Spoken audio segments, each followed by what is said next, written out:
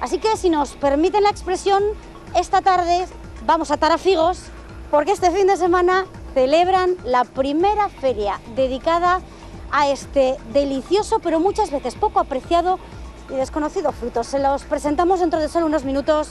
Será como siempre aquí en Conexión Asturias.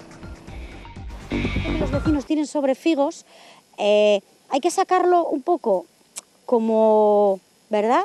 Pero, pero por la costumbre, porque tú me decías, ¿desde cuándo existen Toda la vida yo tengo 85 años y, y bueno, y, y siempre existieron unos figueras pero enormes de tener ciento Pero y pico nunca años. nadie pla- plantó una figara Nunca, adrede, ya, ¿no? ya les encontramos plantadas cuando Bueno, nacimos. de hecho creo que se han cortado muchas porque, Muchísimas, claro, era una cosa exagerada, exagerada de lo que- ¿verdad? unos- troncos sí se enormes. plantó, ¿eh? ¿Algunas sí se plantó? Mi marido alguna plantó, son pequeñinas. Ahora mucho. Ah, pero porque sabe la gente ya que se da tan bien, ¿no? Claro. Ana, Tenemos detrás una figar... Sí, dime, dime María. pero vamos a ver, que estamos hablando de Rozaes, en Villaviciosa, de que montan el domingo la primera feria de los figos. ¿Cuántas figales hay Sí. en Rozaes? ¿Las tienen contadas?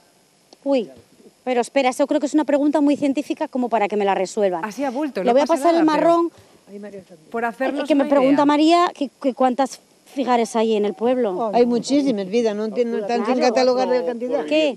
Tres, cuatro por vivienda, ¿eh? Caray. Tres, cuatro por vivienda, me dicen. Bien, buen Claro. dato. Eh, a ver, muy rápido, ¿eh? muy rápido, porque entendamos un poco que no todas las especies de figos son iguales. Tenemos detrás una que llamáis vosotros anchoaninos, ¿no? De San Juan, sí. ¿Estos se dan en qué época? Eh, Por Santiago, tienen que meciar Santiago para que poder comerlos. Ahora la verán vacía Santiago. porque lógicamente Sí, estos ya, estos ya no Son hay. tempranos y Son ya tempranos ya no hay. Ahora están Los miguelinos. los miguelinos, los miguelinos que son los que empiezan a darse a, pa- a a partir de finales de septiembre, durante todo el mes de octubre, Hasta mediados de octubre o así. que son estos que tenemos aquí, que mm, hemos recopilado de dos tipos, en realidad es la misma tipología de figo, pero de dos colores, ¿no? Blancos y negros. que saben exactamente igual, ¿no? Aquí Eh, no hay bueno, diferencia. no, del todo, del todo iguales no. Depende también mucho del sitio. Donde son más soleados, eh, son más dulces, donde están mirando más a la sombra y cambia mucho el el gusto del sitio. Sí, de aquella parte a aquella. Ajá, fíjate, fíjate. Hay poco documentado sobre la historia de la relación de los vecinos de este pueblo, de los figueros. Esto no os parece mal que os llamen figueros. No, no, que va, que Porque esto va. empezó como una cosa con un poco de sorna, ¿no? Sí, sí, sí, sí, sí empezó Pero al bueno, lo principio, tomáis sí. de buen Pero grado. bueno, ahora ya Digo que los figueros han estado de- desde toda la vida relacionados con, con este fruto y hay historias, hay historias de personas que se desplazaban kilómetros y kilómetros para venderlos. Muchísimos, iban a Nava, a Gijón. Tu madre en villa, concreto mi me madre en decías. concreto, iban con los burros y llevaban los figos en esgoches, Sí. que son tipo cestos, Ujú. Y llegaban a Nava a venderlos y luego ala para acá otra vez. Bueno, había alguna historia por ahí que tiraban alguna. Bueno, no, no, de No chiste. contarla porque era algo que tiraban De chiste nada. al culo del burro. Iban Bueno, y tiraban los figos así alguno que iban resquebrados y decían, ah, este no vale, no vale. Y luego cuando veníamos de vuelta, decían, bueno, este no dio al burro, vamos a comerlo, mira qué bueno está. Oye, cuando hay fame todo está bueno, ¿eh? Todo era una está- mujer que era muy simpática, entonces ella hacía sus aventuras. Bueno, ya ven ustedes que lo de que hoy vamos a atar a figos, aunque no es exactamente el plan que traemos, porque pues, es el centro del tema, ¿no? Claro, claro. Porque lo de tar a figos se, se utiliza, es una expresión que se utiliza para estar como, como un poco distraído. No, estamos centrados en el tema y tenemos pensado seguir hablando de figos hasta que nos den las siete y media, ¿o no? Las ocho y media, porque las siete y pues media ya pasaron. Seguimos. Las ocho y media. Anda, que Eso estoy yo guapa. A figos, a figos, estáis en Rozaes hoy. ¡A figos! ¿Qué estoy preparando, Ana? Ahora se lo vamos a preguntar. Antes conocieron a un pequeño grupo de vecinos. Ahora les tenemos a casi todos, menos los que se han quedado en casa viendo el programa, a los que hemos citado aquí en Casa Ladia, que es el, el bar de- del pueblo. Ya saben ustedes que en las localidades pequeñinas eso no se perdió. ¿eh? El, el bar es el lugar de reunión. Bien, ¿qué va a pasar el domingo a partir de las 10 de la mañana? Tengo aquí a Loli, a Eva, el presidente de la Asociación de Vecinos, que es quien está llevando un poco la cabeza de la, de la organización de, de la feria. Hay un montón de actividades. A ver, venga, contadnos. Bueno, eh, a partir de las 10 de la mañana se abrirá el mercado, hay 18 puestos mm, de momento. Eh, ¿Todos de figos? Eh, todos de figos o cosas relacionadas con figos, salvo tres, que son de personas de aquí de Rozaes que se dedican un poco a hacer cosas eh, manuales de manualidades. El resto son todo temas relacionados con figos o, vamos, cosas hechas con figos. Y tenemos preparados unos talleres para los guajes, para que hagan una gincana alrededor de los figares de aquí del barrio, Sí. Eh, que llamen los juegos de la gueta de los figares. Y tienen por ahí preparado alguna sorpresina más para los guajes, para que estén No entretenidos. podemos desvelarlo. ¿Cuántas frases? eh? Estábamos haciendo recopilación, decía yo antes, bueno, esa es muy fácil, la de estar a figos, en lo que se ha demostrado que la reportera efectivamente está a figos, que no se acuerda de la hora del programa, pero mira, me han traído María algunas, algunas frases ¿no? que tienen preparadas para poner en, en los puestos. Hay unas, hay- las hay muy curiosas, ¿eh? mira, per San Miguel los figos son miel, Sí. eh, si el cura va a los figos, ¿qué farán los vecinos? Uy.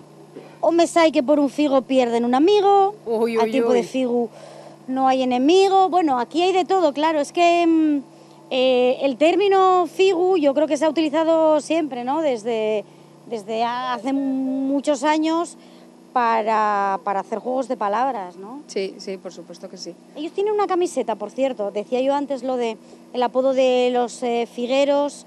Dicen, aunque nos llamen figueros, el pueblo nun lo negamos y en todas las romerías la casa sidra acabamos. O sea que esto es garantía de fiesta el domingo. Sí, sí, sí. Digo yo, ¿no? Sí, sí, yo creo que nos conocen por los festeros que somos y por los figos. Vale, yo tengo una duda. ¿Cómo una localidad tan pequeñina, ¿eh? estamos en Piñera, parroquia de Rozaes, cómo una parroquia tan pequeñina se mete en este embolado? Bueno, porque hay que moverse y nosotros gustamos mucho la marcha. Y bueno, hay que hacer cosas para que conozcan el pueblo y para mover a la gente del pueblo. Y vamos, vamos colaborando bien, tenemos varios que nos van a ayudar en hacer cosas, en coger figos, para poder venderlos de la feria. Otra gente dedica a hacer mermeladas, eh, tarros de O sea, que todo el mundo se ha figos, implicado, como- ¿no? Hay mucha gente implicada del pueblo con la feria. Es curioso, preguntaba yo cuántos vecinos hay en Rozaes y cuántos eran socios de la, de la- miembros de la asociación y en realidad me, me- me contaba la chica que trabaja en el bar que hay familias en las que todos son miembros, todos pagan cuotas, es decir, que estamos hablando de una parroquia muy, muy participativa, ¿no? Bueno, en realidad somos más socios eh, de la asociación de vecinos que vecinos. vecinos, Porque hay gente que está Ala, fuera Hay y mucha gente semana, ¿no? relacionada que nació en Rozaes o relacionada con Rozaes que vive fuera. Por cierto, se me olvidó, tenía yo aquí apartada una de las, una de las frases sobre figos. Ah, no, que es un mensaje de, de- de la asociación que ya tenéis abierto el plazo para que paguéis las cuotas del 2014. ¿Vale? Esto es una colaboración desinteresada que hace Conexión Asturias. ¿Vale? Bien, veo caras dispuestas a pagar la cuota del 2014 y a, y a, supongo, eh, aportar lo que puedan para el domingo, ¿no? Sí. Hay gente haciendo tartas, haciendo cosas. Haciendo de todo. Fue lo más guapo de esta feria, que, que todo el mundo que se dijo, vamos a hacer tal, ah, pues muy bien, pues cómo ayudo, qué hago, qué traigo, todo, todo el mundo. Nadie nos dijo, ay, no, quita para allá tal. Todo el mundo quiere colaborar y eso, con, con lo que pueda. Cogiendo figos, trayendo cosas, limpiando, buscando, haciendo tartes, haciendo mermeladas, eh, cosiendo ropa, todo. Apúntense la cita, ¿eh? Domingo, a partir de las 10 de la mañana, en Rozaes, Villa Viciosa, primera feria de los figos. Hay muchas cosas que ver, muchas cosas que hacer y entre ellas una que nosotros hemos tenido el privilegio de hacer hoy, que es visitar los antiguos molinos. Antaño fueron una parte imprescindible de la vida de los pueblos. Con el paso del tiempo cayeron en desuso. Muchos simplemente se derrumbaron por el abandono de sus dueños, otros permanecieron en el tiempo gracias al esfuerzo de instituciones y también en el caso, en muchos casos de particulares que invirtieron su, su dinero en rehabilitarlos. Aunque no todos funcionan. Hoy o este fin de semana nosotros y los que vengan el domingo van a tener la suerte de poder ver dos de ellos que se conservan aquí en Rozaes, el del Mayorazu y este de Santiago, que además están en unas condiciones maravillosas como van a poder ver. Sus propietarios, Maruja, el de- del Mayor... José Manuel. Bueno, José Manuel. Manuel Cortales, mejor Bueno, vale. Y Ángel Díaz, que es el de este que vamos a ver hoy. Estamos en la parte exterior.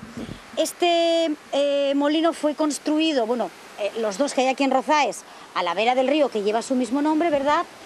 Y de aquí se construye la canal y esta parte que es, explícame un poco. El cubo, el cubo.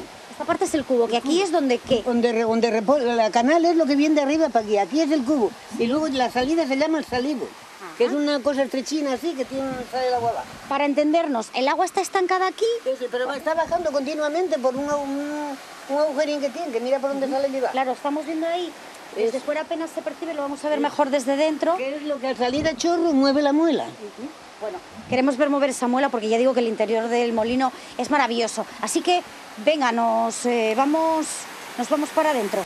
Y este es el corazón del molino, ya ven ustedes, con este aspecto tan guapo, como si el tiempo no hubiera pasado por él, pero es verdad que Ángel nos reconocía que ha invertido mucho dinero y mucho tiempo con sus propias manos para que cada pieza esté nueva y en perfecto estado de funcionamiento. Maruja, tú te sabes los nombres de las partes, ¿no? Sí, sí. Arriba la moncheca, donde se echa el maíz. Sí, La moncheca. Por donde baja el cuerno. Sí. El cuerno. Y esta chisma que da vueltas, que es cuando muele la tarabica. Ajá, y luego Y luego aquí esto es el branzal, donde, donde para, donde sale la harina y cae en el branzal. Queremos verlo en funcionamiento. Ángel. Y bueno, y la, la cabria, es, es- es- es- la cabria es esa grúa con lo que se levanta la muela. Venga, ahora está Ángel levantando, eh, digamos, eh, lo que hacía de tope Sí, sí, para sí, evitar que el agua saliera, ¿verdad? Con lo cual la rueda empieza a girar. Debido al chorro de agua que sale con fuerza. Me voy a venir por aquí. La muela. La muela, muela, muela. Entonces me vengo por aquí y lo que hago es. A ver. Venga, Ángel, echa el maíz. En este caso vamos a hacer un poquito de harina de maíz. Lo echamos desde la parte de arriba.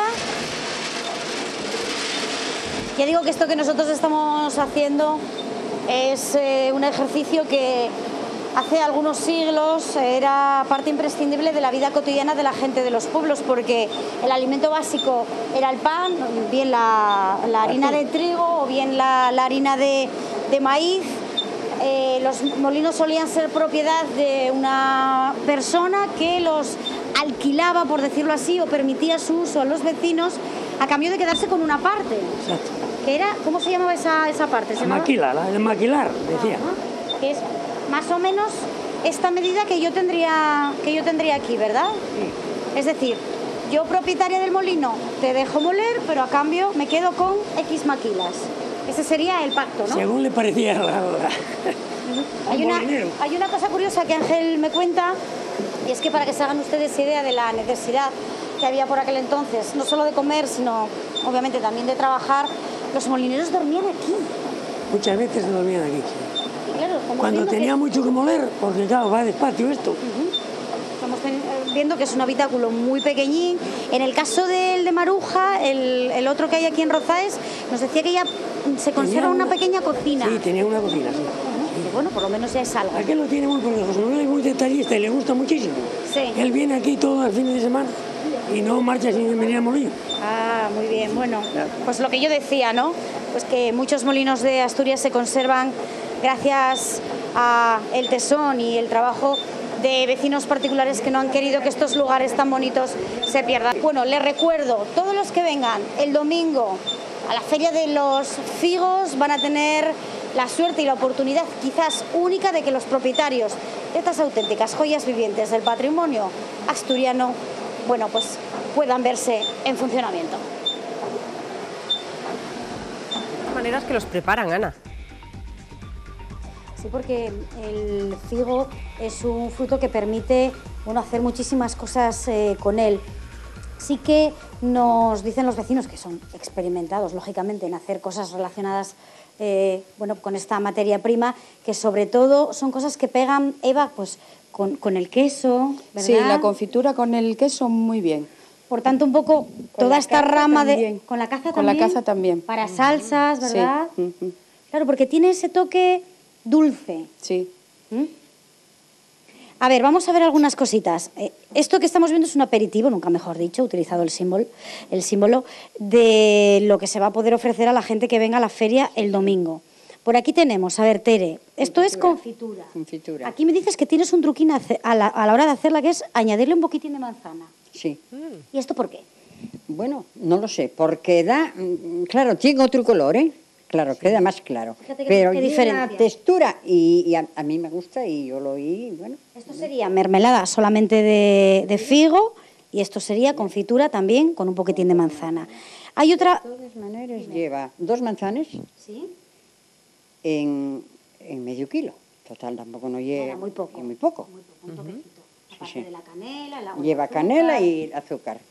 La verdad la- es que en esto no tiene ningún misterio. Ningún misterio. No hay nada por descubrir. Si lleva medio kilo y un cuarto de azúcar. Ana, Que no lleva poco, ¿eh?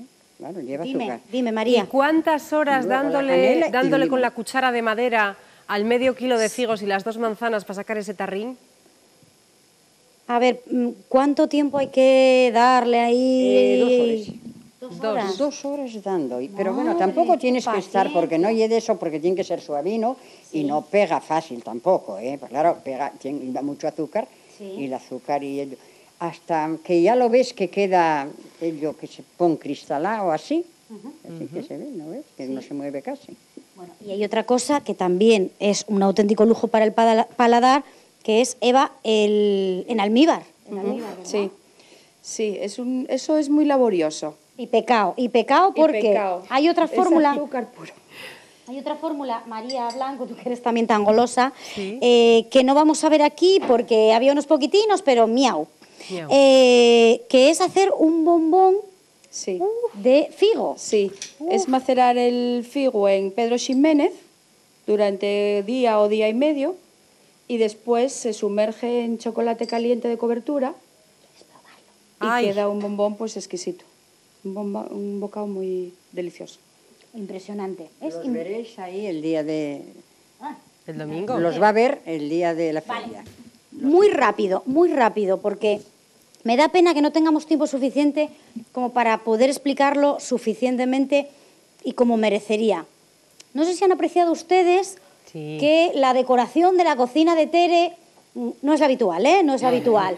Prácticamente le hemos desmontado un armario entero para que ustedes pudieran, qué maravilla, María, apreciar los trajes. Los estamos viendo por primera vez, los van a estrenar el domingo. Aquí hay meses de trabajo, asturianos. trajes tradicionales asturianos. Digo que aquí hay meses de trabajo, de coser, de investigar, de consultar Con libros. 77 años, ¿eh? 77 años, de ver patrones originales para que todas las piezas de los trajes sean, digamos, lo más fidedignos a cómo se vestían las mujeres, Mujeres antiguamente. antiguamente. Esto era muy antiguo. Ya digo que el Porque que esto lo- es estameña. Estameña, que es un Estameña, género que, que ya es- no apenas se... Bueno, eso ya an- anti- antiguo, que era de lana de oveja, que lo teñían y lo trabajaban y lo teñían y lo lavaban y mira cómo pues, que dejaban Bueno, esto.